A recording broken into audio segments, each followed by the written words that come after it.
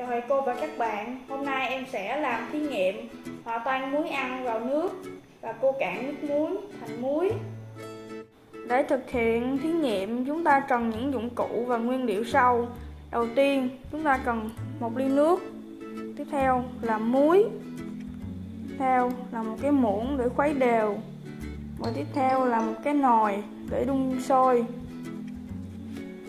Đầu tiên chúng ta sẽ bỏ muối vào nước.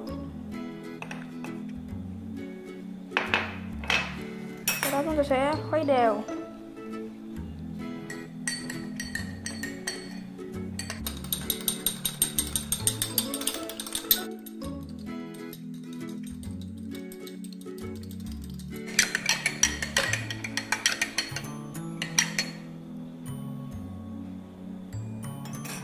Và đây là thành quả như chúng ta đã thấy muối đã à, hòa tan hết vào trong nước và chúng ta đã tạo thành nước muối. Tiếp theo chúng ta sẽ mở bếp lên và cho nước muối vào.